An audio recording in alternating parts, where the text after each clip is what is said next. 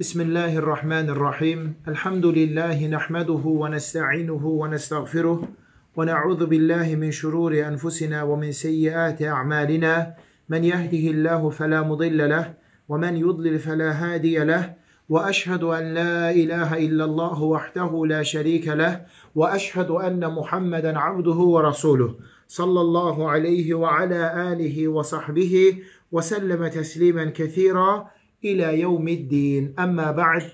Dəyərli, qiymətli qardaşlar, aləmlərin Rəbbi olan Allaha sonsuz həmd sənalar olsun.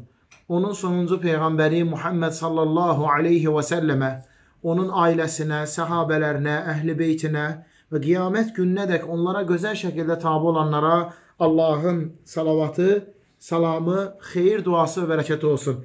Dəyərli qardaşlar, Allah Taala'nın müvəffəqiyyəti, onun yardımı və köməkliyi ilə böyük alim Şeyx Abdurrahman Əs-Sa'di rahimehullahın El-Vəsailul Mufidə lil Həyati Səidə Gözəl həyat yaşamaq üçün faydalı səbəblər kitabını oxumağa davam edirik. Dəyərli qardaşlar, gözəl həyat yaşamaq, faydalı ömür sürmək olduqca mühümdür. Allah Taala bizlərə həyatımızı gözəl şəkildə yaşamağı tövsiyə eləyir. Buyurur, gözəl həyat yaşamağı Allah Subhanahu və Taala'dan istəyib dua etməyi bizlərə tövsiyə eləyir. Uca Allah buyurur, Rabbena atina fid dunya hasanatan və fil axirati hasanatan və qina azaban nar. Ey Rəbbimiz, bizə həm bu dünyada gözəl həyat yaşayış bəxş elə, həm də axirətimizdə gözəl həyat yaşayış bəxş elə və bizi cəhənnəm əzabından qoru. Allah Taala'ya dua eləyib ondan gözəl həyat yaşamağı istəmək. Bu uca Allahın bizə öyrətdiyidir, tövsiyəsidir. Allah Taala həmçinin buyurur ki, gözəl həyatı Allah üçün yaşamaq, ixlasla, Allahın sevdiyi, razı qaldığı qaydada, Qur'an-ı Kərimə Rasul sallallahu aleyhi və səlləmin sünnəsinə müvafiq uyğun qaydada. Qul inna salati və nusuki və məhyaya və məmati lillahi rabbil alamin. La şərikə ləh. De, mənim namazım da, qurbanım da, həyatım da, ölümüm də aləmlərin Rəbbi olan Allah üçündür. Onun heç bir şəriki yoxdur. Uca Allah buyurur: "Ya eyyuhellezine amenu" Ey iman gətirənlər, İstəcibu lillahi və lirrasuli izə da'akum limə yuhyikum. Allah Rasulü sizi Allaha və Rasulunun sünnəsinə tabi olmağa dəvət edən zaman, çağıran zaman içərisində həyat olan, gözəl yaşayış olan o dəvətə cavab verin. O dəvəti eşidib ona qulaq asın. Həqiqətən də gözəl həyat budur. Allahın və Rasulü Muhammed sallallahu aleyhi və səlləmin dəvətinə qulaq asıb cavab vermək. Gözəl həyatın əhəmmiyyəti haqqında Allah Rasulü sallallahu aleyhi və səlləm nə qədər hədislər söyləyir. Hətta buyurur ki, həyatı gözəlləşdirən əməl salih zövcədir, geniş evdir, rahat minikdir, yaxşı qonşudur. Bunlar insanın həyatını gözəlləşdirir. Ona rahatçılıq verir. Onu xoşbəxt, əminamanlıq içərisində edir. Həyatı gözəlləşdirən bu dörd şey. Əməli salih, həyat yoldaşı, geniş ev, rahat minik, bir də yaxşı qonşu. Eləcə də bu dördü insanın həyatını pisləşdirir, sıxıntıya salır, əziyyətə salır. Ona narahatçılıqlar verir. Sözə baxmayan arvad, həyat yoldaşı, dar, sıxıcı ev, narahat minik, bir də pis qonşu. Bunların hamısını doğru düzgün seçmək Allah Resulü sallallahu aleyhi və səlləmin bizə tövsiyəsidir. Ona görə ki, rahat həyat yaşayaq. Gözəl həyat sürək. Peyğəmbər sallallahu aleyhi və səlləm Allah Taala'dan gözəl həyat yaşamağı dua eləyib, istəyib, buyurub ki, Allahümmə əslih li dini əlləzi huvə ismətu əmri. Allahım, mənim işlərimi sahmana salan, qaydasına qoyan dinimi mənim üçün gözəl elə. və əslih li dunyaya əlləti fiha ma'ashi. Yaşadığım dünyamı, yaşadığım həyatımı mənim üçün gözəl elə. Əmin-amanlıq firavan elə. Və əslih li axirati əlləti fiha ma'adi. Sənə qayıdışım olacaq. Axirətimi mənim üçün gözəl elə. Vec'alil hayate ziyadeten li fi kulli xeyrin vel mevte raheten li min kulli şerrin. Çoxlu xeyirlərə, fəzilətlərə çatmaq üçün həyatımı, ömrümü mənim üçün artır, uzat. Şərlərdən, fitnələrdən, günahlardan düşməkdə ömrümü, ölümü mənim üçün rahatçılıq elə. Ölümü mənim üçün rahatçılıq elə. Allah Resulü sallallahu aleyhi və səlləmdən soruşurlar ki, hansı insan xeyirlidir ya Resulallah? Allah Resulü sallallahu aleyhi və səlləm buyurur ki, ömrü uzun olub, əməlləri gözəl olan. Gözəl həyat çoxlu, salih əməl etmək deməkdir. Gözəl həyatın mənası budur. Ömrü uzun olmaq, çoxlu, xeyirxah, yaxşı işlər görmək. İmam Əhməd ibn Həmbər rahiməhullaha gəlib deyirlər ki, ey Abdullahın atası, Allah Taala sənin ömrünü İslam dini üzərində uzatsın. İmam Əhməd ibn Həmbər rahimehullah deyir ki, Allah Taala sənin ömrünü İslam və sünnə üzərində uzatsın. Bu cürlə dua et. Bu cürlə Allahdan istə. Allahım mənim ömrümü İslam dini və Peyğəmbər sallallahu aleyhi və səlləmin sünnəsi üzərində uzat, artır. Dünya olduqca əhəmmiyyətlidir, mühümdür. Onu əhəmmiyyətli, mühüm edən şey dünyanın axirətin tarlası olmasıdır. Allah Teala bu dünyanı bizə verib ki, orada axirət üçün hazırlaşaq. Əbədi həyatımız üçün salih əməllər etməklə, Allahın sevdiyi, razı qaldığı işlər görməklə, təqvalı olmaqla, əmrləri yerinə yetirib, qadağalarına çəkinməklə tədarük görüb hazırlaşaq həmin o hazırlıq, həmin o əbədi həyat üçün görülən tədarük bu dünyada baş verdiyi üçün bu dünya mühümdür, önəmlidir. Onu önəmli edir, onu mühüm, onun qiymətli edir. Ona görə ki, bu dünya axirətimizi qazanmaq üçün bir növ səbəbdir, vasitədir. İnsanın həyatını gözəlləşdirən səbəblər haqqında biz dörd dənəsini oxuyub öyrəndik. Öyrəndik ki, insanın həyatını gözəlləşdirib, yaxşı edən ən birinci səbəb Allah Taalaya iman gətirib inanmaq və salih yaxşı işlər görmək. Allah Taalaya iman gətirib inanmaq, salih yaxşı əməllər etmək. Uca Allah buyurur: "Mən amilə salihan min zəkerin əv unsə və huve mu'minun fələnuhyiyennehu hayatan tayyibə." Mömin olaraq yaxşı işlər görən kişilərə və qadınlara Allah Taala gözəl həyat bəxş edəcək. Və lənəcziyannahum ecrahum bi ahsani ma kanu ya'malun. Etmiş olduqları ən gözəl əməllərə görə onları mükafatlandıracaq. Gözəl həyat yaşamaq, firavan əmin-amanlıq içərisində olmaq, əbədi xoşbəxt olmaq üçün ən birinci əsas, səbəb, əsasların əsası Allaha iman gətirib salih əməllər etmək. Öyrəndik ki, ikinci səbəb Allah subhanahu və taalanın yaratdıqlarına qarşı gözəl rəftar eləmək. Mülayim, rəhimli olmaq. Allah Taalanın bütün yaratdıqlarına qarşı insanlar, bitkilər, heyvanlar, dilsiz əşyalar, adi yolu belə misal çəkdik. Adi parkları belə misal çəkdik oturacaqları belə misal çəkdik. Onlar ilə gözəl, səliqəli şəkildə rəftar eləmək. Bu insanın həyatını gözəlləşdirir. Allah Taala buyurur ki: "İnnallaha ya'muru bil adli vel ihsan." Allah Taala ədalətli olmağı və yaxşılıq eləməyi əmr eləyir. Yaxşılıq eləmək Allahın bütün yaratdıqları ilə uca Allahın bizə əmridir. Və əhsin kəmə əhsənallahu ileyk. Allah Taala sənə yaxşılıq elədiyi kimi, sən də Allahın yaratdıqlarına yaxşılıq elə. İnsanlara yaxşılıq. Onlara nə dilinlə, nə əlinlə əziyyət verməmək, gücün çatdığı qədər onlara maddi, mənəvi dəstək olmaq, onların yanında çiynində dayanmaq.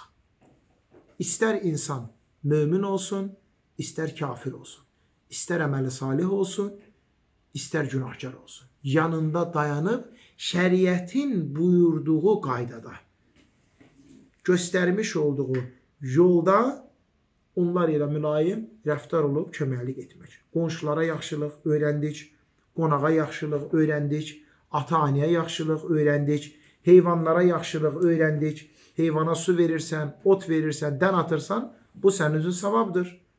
Buna görə mükafat qazanırsan. Ya Rasulallah, mən heyvanı kəsəndə onunla mülayim oluram. Onunla yaxşı rəftar edirəm. Allah Resulü sallallahu aleyhi və səlləm deyir ki, Allah Taala səninlə iki dəfə daha artıq yaxşılıq eləsin. Rəhimli, mülayim olsun. Heyvanla yaxşılıq onu kəsən zaman digər heyvanların gözünün qabağında kəsməmək, kəsməmişdən qabaq bıçağı yaxşıca itiləmək, əlin ayağın bağlamaq ki, canı çıxana qədər əziyyət çəkməsin, dağa daşa dəyməsin. İtə su verdiyinə görə Allah subhanahu və taala çoxlu zina eləyən qadını bağışlayır. Əff edir. Səbəb Allahın yaratdığına qarşı mülayim, gözəl rəftar eləməsidir. Eləcə də sən Allahın yaratdıqlarına qarşı sərt kobud olsan, aqibəti, əzabı pisdir. Bu insanın həyatını gözəlləşdirir, dəyərli qardaşlarım. Yaxşılaşdırır. Onda olan qəmi, qüssəni, kədəri uzaqlaşdırır. Üçüncü səbəb insanın həyatını gözəlləşdirən, onda qəmi, qüssəni, əsəbi, kədəri uzaqlaşdıran faydalı bir iş ilə məşğul olmaq. Bir işin, peşənin sahibi olmaq. Sənət yiyəsi olmaq. İş görmək, ruzu qazanmaq. Həqiqətən də bu insanın həyatını gözəlləşdirir. Bağbanlıq, maldarlıq, əkinçilik, ticarət, mühəndislik, dülgərlik, bənnalıq, nəsə bir icazəli, faydalı bir işlə məşğul olmaq. İnsanın həyatını gözəlləşdirir, onun həyatını sahmana salır. Hətta Peyğəmbər sallallahu aleyhi və səlləm buyurur ki, kişinin əldə etdiyi ən gözəl, ən faydalı qazanc öz əhli olduğu işindən, peşəsindən qazandığı, əldə etdiyi gəlirdir. Bütün peyğəmbərlər işləyib sənət peşə sahibi olub. Nuh aleyhisselam dülgər olub. İbrahim aleyhisselam bənna olub. Davud aleyhisselam dəmirdən dəbilqələr, nizələr düzəldib. Muhammed sallallahu aleyhi və səlləm ticarətçi olub. Heyvanları otarıb. Musa aleyhisselam heyvanları otarıb. Peyğəmbərlərin peşəsi sənədi olub. Yusuf aleyhisselam xəzinədar olub. Süleyman aleyhisselam hökümdar olub. Hamısı Allah subhanahu və taalanın dininin ən yaxşı yaşayan, xeyirdə hamıdan qabağa çalışan, insanları Allahın dininə dəvət eləyən, eləcə də həyatlarına ruzu qazanan, peşə, iş sahibi olan insanlar. Ona görə onların həyatı əminamanlıq, firavanlıq içərisində olub. Dəyərli qardaşlarım, öyrəndik ki, insanın həyatını gözəlləşdirən dördüncü əməl yaşadığı günə diqqətini ayırıb fikrini vermək. Bu günü üçün yaşayıb çalışmaq. Ömrünü bu gündən ibarət bilmək. Etmədiyi salih əməlləri bu gün etmək, etdiyi salih əməllərdə bu gün daha möhkəm olmaq ömrü bilməlidir ki, onun yaşadığı bu gündən ibarətdir. Keçmişdə olanlara görə xatırlayıb çox da fikir zikir eləməmək, çox da xəyallara dalmamaq, keçmiş haqqında çoxlu fikirləşməmək, necə deyərlər, keçmiş artıq keçmiş, gələcək barəsində də çox da ciddi, sanki onu 100% yaşayacaq kimi planlar qurmamaq bilməlidir ki, insanın əsl ömrü elə bax bu yaşadığı bu gündən ibarətdir. Allah Taala buyurur ki: "Və mə tədri nəfsun məzə təksibu qadə və mə tədri nəfsun yəni eynə təmut." İnsan sabah bilmir ki, başına nə gələcək. Eləcə də insan bilmir ki, sabah həyatda olacaqmı, yoxsa vəfat edib öləcəkmi? Hələm sabah, mən 10 il sonrası üçün, 15 il sonrası üçün demirəm. Mən sabahı deyirəm. Ona görə insan bilməlidir ki, əslində onun həyatı yaşadığı bu günündən ibarətdir. Əd-dünya thələthətu əyyəmin. Dünya 3 gündən ibarətdir. Əl-əmsu dünən İşnahu və lən yaudə. Yaşadıq, qurtardıq. Heç vaxt qayıtmayacaq. Əl-ğad sabah. Lə nədri eynə sənəkum. Bilmirik biz harda olacağıq. Torpağın üstündəmi, yoxsa torpağın altındamı? Bilmirik. Əl-yevm bugün İşnahu və lən yədumə. Yaşayırıq, amma daimi olmaya bilər. Əslində insan öz yaşadığı gününün oğludur. Onun həyatı öz yaşadığı bu gündən ibarətdir. Baxan zaman Peyğəmbər sallallahu aleyhi və səlləmin dualarına da əksər hallarda görürsən ki, Allah Taaladan istəməyi, onun köməyini ummağı və elə həmin an dərhal faydalı işin arxasıca getməyi tövsiyə edir. Allah Taaladan istə, istixarə et, xeyri um, köməkliyin yardımını istə, dərhal o işin arxasıca get. Sabaha saxlama. Sonraya saxlamaqdan çəkin. Çünki sonraya saxlamaq şeytanın oxlarından bir oxdur. Sabah eləyərəm.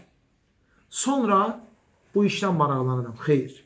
Bu gün Allah həmd olsun, yəni bir işi görmək nə qədər rahatçılıqdır. Bir işdən başlamaq, məlumat toplamaq, bir kəsdən xəbərdar olmaq nə qədər rahatdır. Yəni dərhal o ona çata bilirsən. Və sonraya saxlamaq, yəni insan çəkinməlidir, bilməlidir ki, o şeytanın oxlarından bir oxdur. Səhmun min sihamul iblis. Sonraya saxlamaq şeytanın oxlarından bir oxdur. Baxın Peyğəmbər s.ə.v-in bu dünyasına, bu duasına. Deyir ki, İhris alə mə yənfəuka vəstə'in billah və la ta'cəz. Sənə fayda verən işin arxasıca get. Dayanma. Tənbəllik, acizlik eləmə. Sənə fayda verən işin arxasıca get. Allahdan köməklik istə. Tənbəllik, acizlik, yorğunluq, zəiflik göstərmə. Bilirsən ki, bu işdə fayda var. Bismillah de. Allahdan köməklik istə gecikmədən, yubanmadan, sonraya saxlamadan o işi gör. Onun arxasıca get. Belə eləsən, Allahın iznilə hər şey yaxşı qaydasında olacaq. Allahdan köməklik istə, fayda verən işin arxasıca get, tənbəllik, acizlik göstərmə. Sonraya saxlama. Allah Teala buyurur ki: "Və la tahinu və la tahzanu və entumul a'launa in kuntum mu'minin." Nə? Zəiflik göstərin, nə də hüzünlənib kədərlənin. Möminsinizsə, Allaha bel bağlamısınızsa, Allaha inanmısınızsa, siz o işdə qalibsiniz, üstünsünüz. Və yansurakallahu nasran azizə. Allah Taala sizə çox böyük köməklik edəcək. Əzəmətli yardım edəcək. Yetər ki, sən şəriətin buyurduğu qaydada Allah Taaladan köməklik istə, addımı at, zəiflik, tənbəllik göstərmə. Hə bunu eləyəndən sonra və izə əsabəkə şeyun nəsə bir uğursuzluq olsa, başına bir müsibət, imtahan gəlsə, fələ təqul ləv ənni fəaltu kənə kəzə və kəzə. Mən belə etsəydim, belə olmazdı demə. Belə etməsəydim, belə olmazdı demə. De, Allahın qədəridir. Allahın istədiyi baş verdi. Ona görə ki, kaş demək şeytana qapı açır. Əlhəmdülillah, sən şəriətin buyurduğu qaydada istixarə etmisənsə, 2 dəfə, 3 dəfə. Əhli olan insanlar ilə məsləhət məşvərət eləmisən. Valideynlərin xeyir duasını almısan. İşə başlayıb, faydalı işin arxasıca gedib, tənbəllik, acizlik eləməmsənsə, xeyirlər, faydalar, mükafatlar əldə edəsən. 100%. Birdən başına nəsə bir hadisə gəlsə, Bu zaman iki xeyirdən birinə nail olasın. Ya Allah Taala onun səbəbilə sənin günahlarını yuyacaq, təmizləyəcək, ya da Allah yanında olan mərtəbəni, dərəcəni artıracaq. İki xeyirdən biri mütləq olacaq. Zahirən baxanda deyirsən ki, mən uduzdum, məğlub oldum, başıma müsibət gəldi.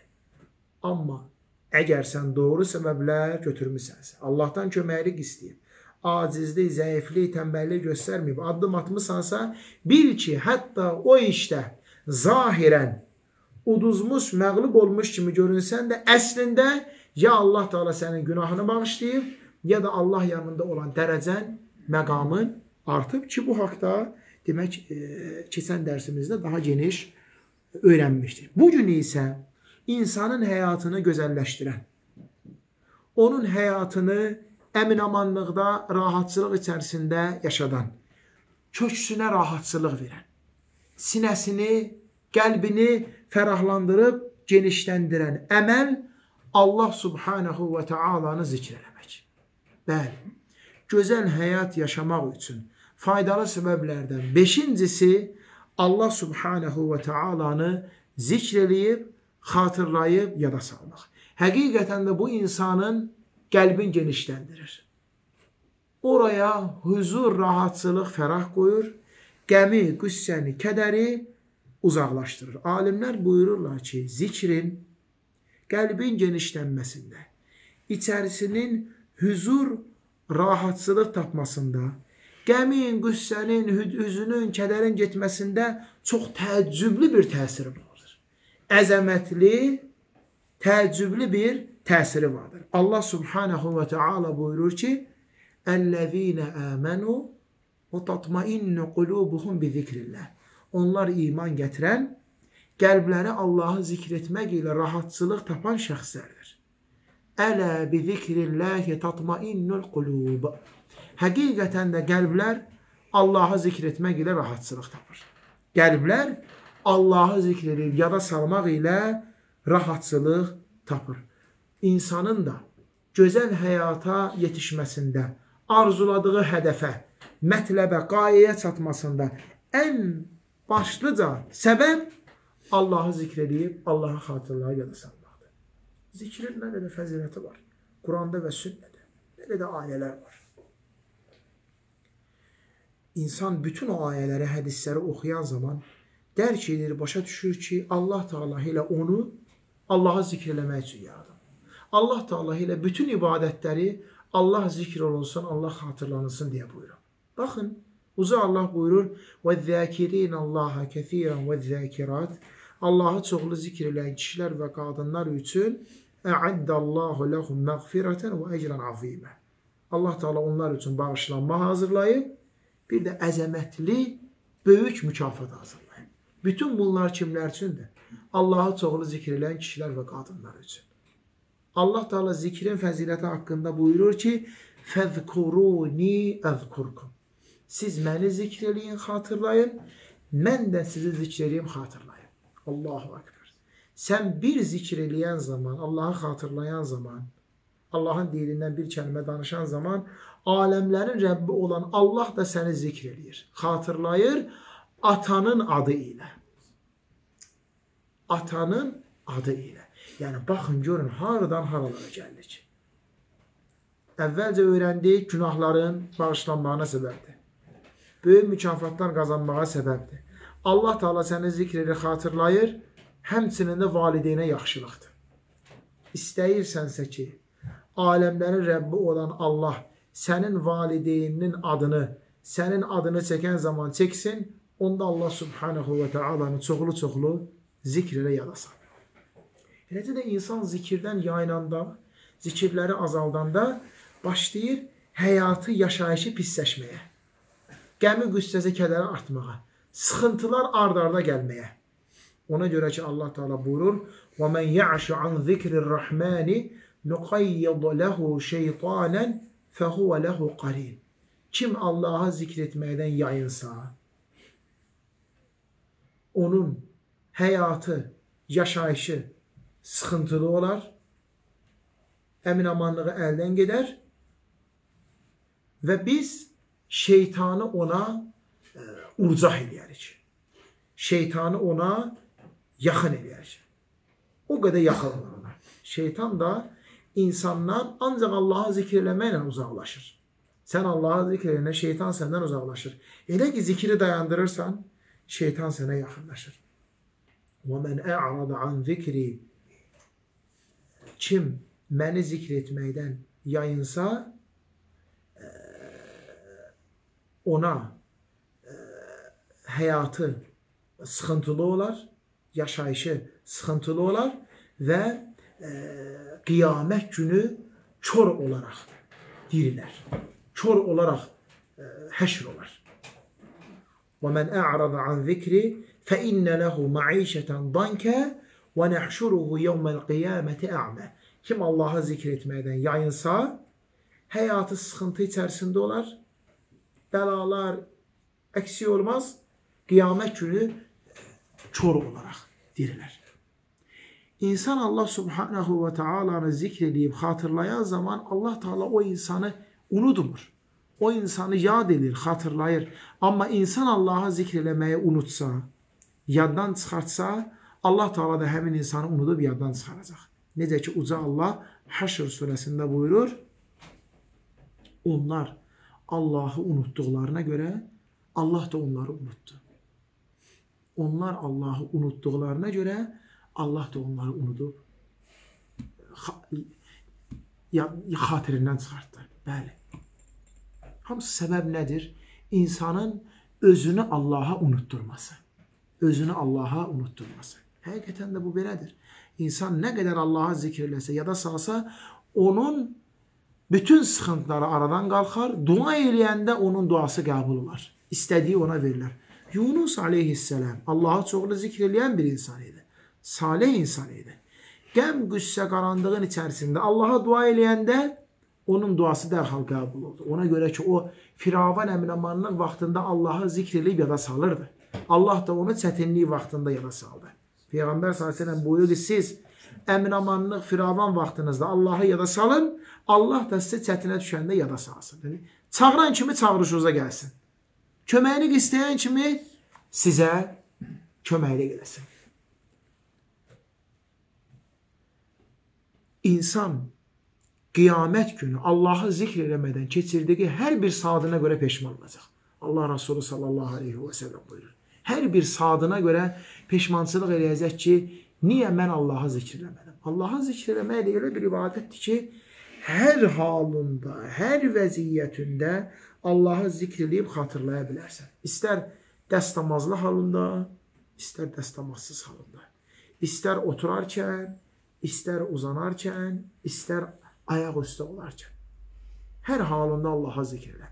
Yuxudan oyananda, yatmamışdan qabaq, səhər, axşam, təharətə girəndə, təharətdən çıxandan sonra, dəstəmaza başlayanda, dəstəmazdan sonra, paltaro geyinməmişdən qabaq, paltaro geyiləndən sonra, yeməyə başlamamışdan qabaq, yemək surfiyə gələndə, yeməyi yeyib qurtaranda, su içməyə başlamışdan qabaq, su içəndən sonra, evə girməmişdən qabaq, evdən çıxanda, yerindən qalxarkən, yervə oturarkən, hamısı Peyğəmbər sallallahu aleyhi və səlləm bircə bircə, bircə bircə o zikirləri bizə öyrədir. Allah həmd olsun, onların hamısı bizim əlimizdə var. Səhih dualar və zikirlər kitabları. Nə qədər əlimizdə hazır var. O bizim əlimizdə olduğu kimi dilimizdə də olmalıdır, əzbərləməliyik, oxumalıyıq qəlbimizdə də olmalıdır, mənasını hiss eləməliyik, əməllərimizdə də o bizim görünməlidir. Hamısı, hər şeyi Peyğəmbər s.ə.v bizə öyrədib. Ən üstün, ən fəzilətli zikir Allah subhanahu və taalanın kəlamı Qur'an-ı kərimdir. Salman əl-Fərisi radiyallahu anhudan soruşurlar ki, ən üstün, ən fəzilətli zikir hansıdır? Deyir, siz Quran oxumursunuz. Quran oxumursunuz. Ən üstün, ən fəzilətli zikir Allah subhanahu və taalanın kitabıdır. Ondan böyük zikir yoxdur. Allahın kəlmələri. Allah Taala bu Qur'anı həqiqətən də danışmış. Qur'an Allahın kəlamıdır. Qur'an Allah subhanahu və taaladan bizlərə gəlmiş. axırda da Allah subhanahu və taalaya qayıdacaqdır. Quran Allahın kəlamıdır. İnsan sözü olmayıb məxluq deyildir. Allah Taala'nın kəlmələrin yada salıb çoxlu-çoxlu oxumaq.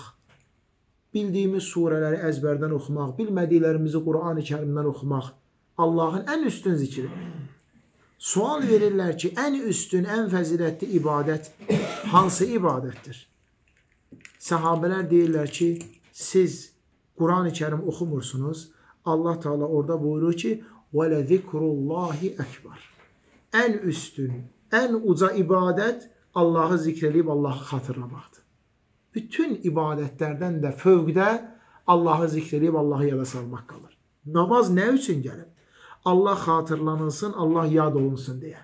Və aqimis salate li zikri. Məni xatırlamaq üçün namaz qıl.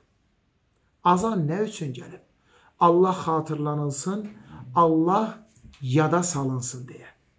Azanın insanın həyatında çox böyük faydası var. O qədər qəlbi rahatlaşdırır.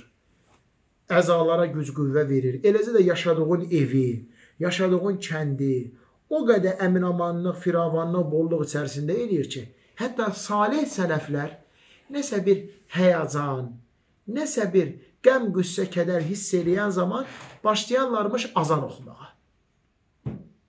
Azanı oxumağa. Bu səbəb olarmış ki, onlardan qəm, qüssə, sıxıntı gedərmiş. Həyatları gözəlləşərmiş.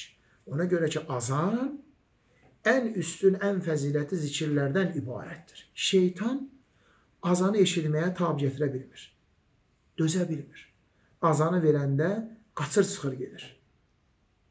Kəndi, şəhəri tərk edir. Elə ki azan qurtardı ondan sonra gəlir. İqaməni verəndə bir də gedir. Dözə bilmir. Tam gətirə bilmir çünki onun içərisində tohid kəlməsi var. Şəhadət kəlməsi var. Ən əzəmətli ibadət olan tohiddən sonra namaza çağırış var ən böyük ibadətlərdən olan cəmaat namazına çağırış var. Tab gətirib dözə bilmir. Bəli, dəyərli qardaşlarım, bax, bütün bu ibadətlər, namaz, azan, iqamə, Allah zikr olunsun deyə gəlir. Peyğəmbər səlləm buyurur ki, Kəbəni tavaf eləmək, Səfa, Mərva təpələr arasında gedib gəlmək, Allah xatırlanılsın, Allah zikr olunsun deyə gəlib. Hamısı. Oruc, cihad, həc, ümrə, zəkat, cənazəyə getmək, məscidlərə gedib gəlmək, məclislər, elm məclisləri, xeyir məclisləri, xeyirli toylar, süfrələr, iftar süfrələri hamısı nə üçün gəlib? Allah zikr olunsun, Allah xatırlanılsın deyə. Allahdan insanlar danışıb Allahı yada salsınlar deyə. Bir gün Peyğəmbər sallallahu aleyhi və səlləmdən soruşurlar ki, ya Rasulallah, hansı oruç tutan daha çox savab qazanır? Allah Resulü sallallahu aleyhi və səlləm deyir ki, oruclu ikən Allahı çoxlu zikr eləyən oruçdur. Ya Resulallah, hansı hacı daha çox savab qazanır? Allah Resulü sallallahu aleyhi və səlləm deyir ki, hacda Allahı çoxlu zikr edən hacı. Ya Resulallah, hansı cihad əhli daha çox savab qazanır? Allah Resulü sallallahu aleyhi və səlləm deyir ki, cihadda Allahı çoxlu zikr eləyən cihadçı. Ya Resulallah, hansı cənazə əhli daha çox savab qazanır? Allah Resulü sallallahu aleyhi və səlləm deyir ki, cənazədə Allahı çoxlu zikr eləyən cənazə əhli. Ya Resulallah, hansı məscid əhli daha az savab qazanır? Allah Resulü sallallahu aleyhi və səlləm deyir ki, məsciddə oturub Allahı zikr eləyib, Allahı yada salan məscid əhli. Bu vaxt Abu Bakr As-Siddiq radiyallahu anhu deyir ki, ya Resulallah, onda zikr eləyənlər bütün savabları götürüb getdilər ki, Allah Resulü sallallahu aleyhi və səlləm deyir ki, əlbəttə, zikr edənlər bütün savabları götürüb getdilər. Hər bir elədiyin zikrə görə Allah Taala sənin dərəcəni artırır. Sənə cənnətdə ev inşa edir. Cənnət xəzinələri adlandırır. Sənin üçün cənnətdə ağaclar əkilir. Günahların payızda ağacın yarpağının töküldüyü kimi tökülür. Hamısı Quranda və sünnədə var. Zikir üzərinə günəşin doğduğu və batdığı bütün hər şeydən xeyirlidir. Hamısı Peyğəmbər s.ə.v hədislərində var. Mənim üçün Subhanallah, Elhamdülillah, La ilahə illallah, Allahu Ekber demək, üzərinə günəşin doğduğu və batdığı hər şeydən daha yaxşıdır, xeyirlidir. La havlə və la quvvətə illə billah zikrin çoxlu-çoxlu deyir. Ona görə ki, o cənnət xəzinələrindən bir xəzinədir. Kim İxlas surəsini 7 dəfə oxuyarsa, Allah Taala ona cənnətdə qasr dikər. Böyük bir saray inşa edir. Hamısı zikirlərdir, dəyərli qardaşlarım. Hər bir Subhanallah sözü sədəqədir. Elhamdülillah sözü sədəqədir. Allahu Ekber sözü sədəqədir. La ilahe illallah sözü sədəqədir. Hamısı dəyərli qardaşlar. Quranda və sünnədə gələn fəziləti, savabı böyük olan zikirlər. La ilahe illallah zikri. Əbu Zər radiyallahu anhu bir gün Peyğəmbər s.ə.və gəlir, deyir, ya Rasulallah, mənə nəsiyyət elə, tövsiyə ver. Allah Rasulü sallallahu aleyhi və səlləm deyir ki, ey Əbu Zər, bir günah iş eləyəndə ardınca yaxşı əməl elə. Allah Teala yaxşılığın, əməlin 10 qat verir. Əbu Zər deyir, ya Rasulallah, la ilahə illallah demək də yaxşı əməl sayılır. Allah Resulü sallallahu aleyhi və səlləm deyir ki, la ilahə illallah demək ən yaxşı əməl sayılır. Ən yaxşı əməl sayılır. Allah Teala buyurur ki, İllezine əhsənu əl-husnə və ziyadə. Yaxşı əməl edənlər üçün cənnət ondan da artığı Allahı görmək vardır. Abdullah ibn Abbas, Abdullah ibn Məs'ud, başqa sahabələr deyirlər ki, yəni la ilahə illallahı deyib əməl edənlər üçün cənnət ondan da yaxşısı Allahı görmək vardır. Hamısı bunlar Allah subhanahu və taalanın bizə olan fəzilətidir. Allah Teala la ilahə illallah sözün gözəl söz adlandırır. Gözəl kəlmə, gözəl söz adlandırır. Sələflər buyururlar ki, Məsəkinu əhlüd dünya xaracu minhə və mə zəqu atyabu mə fiyhə Dünyaya gəlib, orada yaşayıb, amma ən dadlı, ən ləzzətli neyməti dadmamış, faydalanmamış o dünyadan kösən şəxs bədbəxtdir. Deyirlər ki, nədir o dünyadakı faydalı, ləzzətli şey? Deyir, Allahı zikr eləmək. Allahı zikr eləmək bu dünyadakı ən dadlı, ən faydalı şeydir. Şeyxülislam İbn Teymiyyə rahimehullah deyir ki: "Mə yef'alu bi a'da'i ana cenneti fi sadri." Düşmanlarım mənə nə edə bilərlər ki? Mənim cənnətim mənim sinəmdədir. Tartuhum li siyah. Məni qovmaları mənim üçün səfərə çıxmaqdır. Və habsuhum li xalvatun bi rabbi. Məni həbs eləmələri Rəbbimlə baş-başa qalmağımdır, xəlvətdə qalmağımdır. Nə idi onun cənnət sinəsindəki cənnəti? Alimlər buyururlar ki, Allah subhanahu və taalanı zikr eləmək. O Allah taalanı zikr eləməyi cənnət adlandırır. Ona görə deyir ki, İnnə lillahi cənnətən fid-dunya mən ləm yədxulhə ləm yədxul cənnətəl axirə. Bu dünyada Allahın cənnəti var. Kim o bu dünyadakı cənnətə girməsə, axirətdəki cənnətə də girə bilməyəcək. Nədir o bu dünyadakı cənnət? Qalə zikrullah. Allahı zikr eləmək. Allahı zikr eləmək bu dünyadakı cənnətdir. Kim bu dünyada Allahı zikr eləsə, axirətdəki cənnətə gülə-gülə daxil olacaq. Hətta gülə-gülə daxil olacaq. Zikr məclisləri mələklərin gəlib iştirak etdiyi məclislərdir qanadları ilə səmaya qədər əhatəyə alınan məclislərdir ki, mələklər heç bir məclisdə iştirak edəmirlər dünyada, bir dənə zikr məclislərinə gəlirlər. Allahın rəhmətinin indiyi məclislərdir, sükunətin əminamanlığının indiyi məclislərdir. Allah da zikr məclislərində iştirak edənləri əff edir, bağışlayır. Hətta orada başqa bir mənfəət üçün, başqa bir istək üçün gələnləri də bağışlayır, əff edir. Deyir ki, zikr eləyən cəmaatla oturub duran şəxs bədbəxt olmaz. Xusrana uğramaz. Sələflər deyirlər ki, sənə Allahı zikr etməklə köməklik eləyən şəxslə oturub durub yoldaşlıq elə. Sənə Allahı xatırladan, zikirləri xatırladan, ibadətləri xatırladan şəxslə oturdur, yoldaşlıq elə ki, qeyri dostlarda, yoldaşlarda xeyir yoxdur. Dəyərli qardaşlarım, bax bizim həyatımızı gözəlləşdirən firavanlıq, əmrəmanlıq içərisindəyik. Sıxıntılardan, bəlalardan, müsibətlərdən bizi qoruyub, xilas edən səbəblərdən beşincisi Allah subhanahu və teala'nı çoxlu zikr eləmək, yada salmaq, onu xatırlamaq. Allah Teala bizləri eşidib faydalanan qullarından etsin. Uca Allahdan istəyirəm ki, bizim həyatımızı həm bu dünyada gözəl eləsin, həm də əbədi axirətdə gözəl eləsin.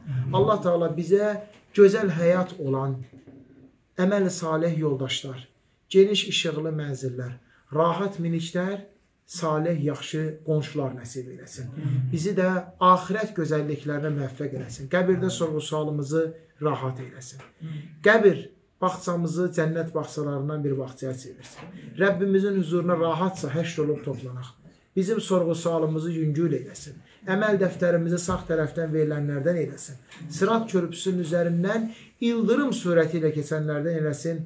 Bizi ayaqlarımızı cənnətə qoyub orada əbədi qalacaq qullarından etsin. Ki bu da axirətdəki gözəllikdir. Allah Taala bizim həyatımızı ixlasla onun sevdiyi, razı qaldığı şəkildə yaşamağa müvəffəq eləsin. Allah Taala bizlərə köməklik eləsin. Hər məclislərdə toplaşaq, Allahı zikr edib, Allahı xatırlayıb, Allahı yada salaq. Dəyərli qardaşlarım, Allah Taala hər birinizdən razı olsun. Uca Allah sizləri xeyirlərlə mükafatlandırıb sizlərə bərəkət versin. Əssəlamu aleykum və rəhmətullahi və barakatuhu.